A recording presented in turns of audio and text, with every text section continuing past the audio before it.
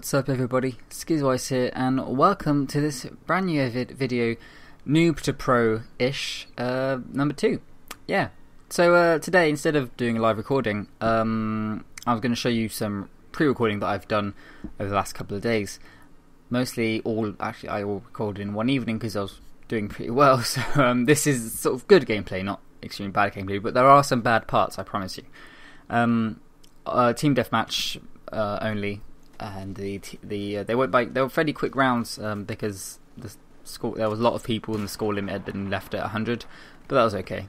Uh, I I did actually pretty well. Um, so yeah, I've, basically cut everything together just for the main part, so there's not a lot of running around, and there's three games put into this one. So here I got my first kill, obviously, um, fairly far away.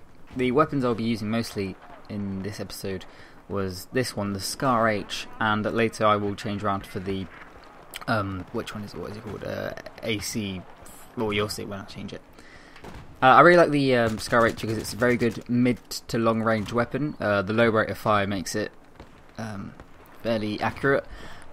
I got all this from watching a YouTube video. I did not figure this out on my own, obviously, because if not, why would I be doing this series if I knew all this by myself? Uh, yeah, a YouTuber that I very much enjoy and he made a video good assault classes and stuff like that and it quite helped me out which is a good thing because I was already using the Scar H a lot anyway which is I was like oh okay fair enough I chose a good weapon. So here I had managed to miss walk around someone and go around but then I got killed. So I'm doing 4-0 uh, I skipped forward here to a very forward in the game because nothing happened when I was walking about. All the enemies were up on the hill and everybody was down here and it's pretty much feels a little bit like a sniper match. Although obviously here some people like the enemy try and run around, and that's the ones I try and pick off. Uh, skip a little bit forward here, and then I look at the hill with all the people, see one guy with a laser, I think, oh, I can get him. No. Sadly, I underestimated, but then I get revived, which is very good. Which I like about close quarter games is when there's a lot of people who are playing assault, um, and like me, and they can drop health packs and revive you, which is great. Uh, I was running around here. I saw a glimpse of that guy in between the railing and managed to get him just before the end of the game. So we won that round, which was very good. Um, and I finished for 6 1. Now, on to the next one, which was not Dawnbreaker. Oh, it was Dawn, sorry. It was Dawn, on, on Dawnbreaker, which is a more of a rectangle map. And so I started off, I skipped the, skipped a bit here, and I, all the enemies were at the end. Nobody was running through the building, so I decided to run through. This is definitely more like a sniper match because everybody's just shooting down that road. And I saw all these people, and I just got giddy. I was like, how do I start? Who do I pick off first? What do I do? Should I throw a grenade? Should I start killing them? They saw me, started hurting me, and I managed to run off just in time to heal myself. But this is the problem I have. I so uh, luckily I saw him. I accidentally changed to one shot, which was fair enough. It still worked. I decided to go have a little peek, see what I could find. Um, saw a few enemies. Managed to get that guy through the railing.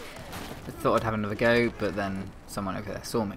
So yeah, I would have loved to be able to stay longer to get all those guys, but somehow I don't know. So here I changed the AK-5C. That's the other one. It's very. It's a close range weapon that I really much enjoy because it's got a very good high rate of fire. Again, I got this off from a YouTube video. Now here, running through this uh, this tree fell over. I was like, oh, perfect. It's cover. The thing is, yes, it may be cover, but I can't see a blimmin' thing. So, you know, just keep on going through. I managed to get a few guys getting hit here, and then died. So I turned my back. Should have threw down a med pack first, maybe. But um, I ran through here later on and tried to revive a guy, and obviously my cover was enabling me to see an enemy running through.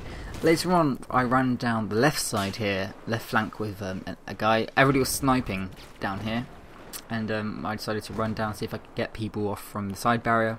Threw a grenade, managed to get someone, which is a pretty good shot. I don't use grenades that much, probably should. Uh, threw down a med pack, which I'm trying to get ribbons for a challenge.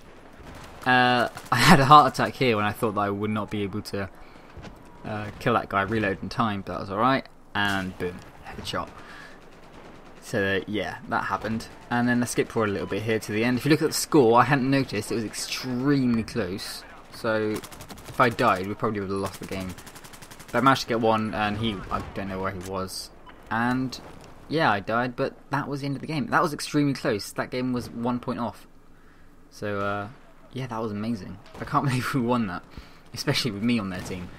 But as I say again, these are specifically chosen matches where I actually did well, just to show you little points, um, just things asking that I can improve on, especially like that gang up on the people.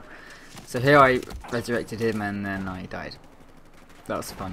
Uh, on this part, so we're back. It's a different match, but we're back on the same um, map as uh, last time.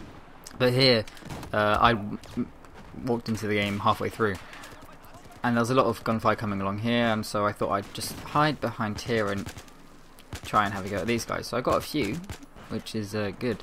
But yeah, guys, this is this pretty much it. Uh, I got a few more guys with Scar H again, long range weapon. I'm I'm working up to unlocking the AK, no the um, Ace 24, Ace 25, which is a very good um, close up weapon. But I have to do a challenge for that.